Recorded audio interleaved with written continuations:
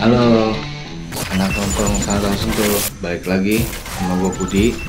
Kali ini gue akan bikin motovlog eh, mengenai eh, apa ya?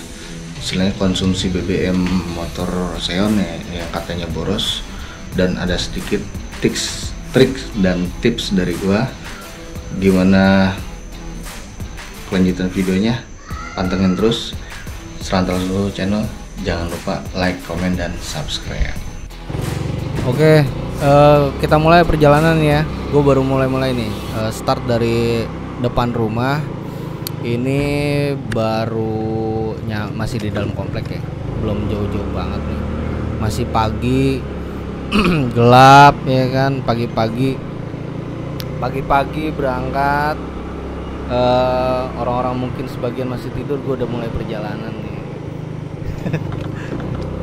Kita sambil ngobrol-ngobrol aja di sepanjang perjalanan ini.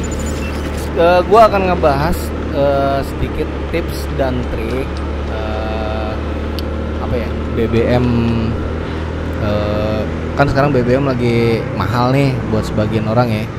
Dan mungkin katanya juga pertalite boros. Nah kalau menurut gua eh, nggak juga sih.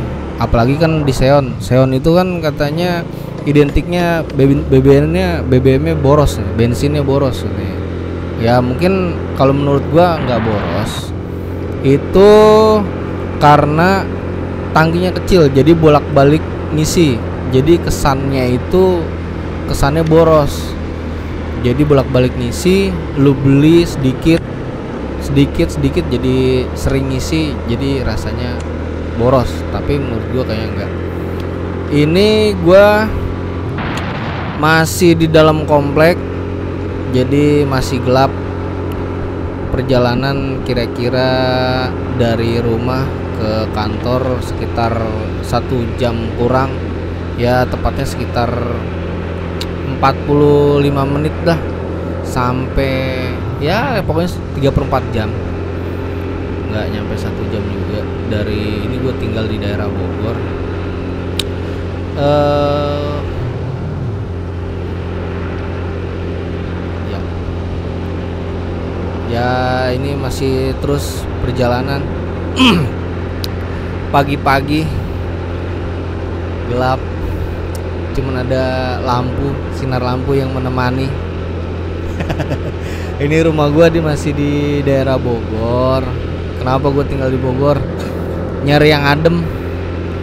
Iya suasananya dan apa ya pemandangannya kali ya adem ketimbang Jakarta yang kayaknya udah mulai sumpek dan sempit.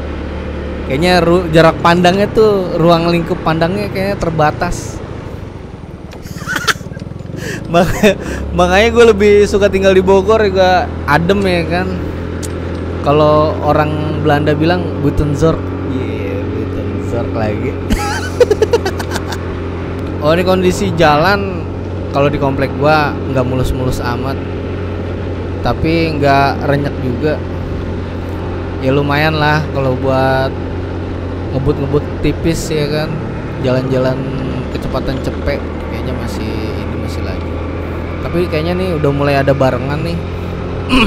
Kayaknya sih dari nggak tahu dari kompleks sebelah apa dari kampung sebelah.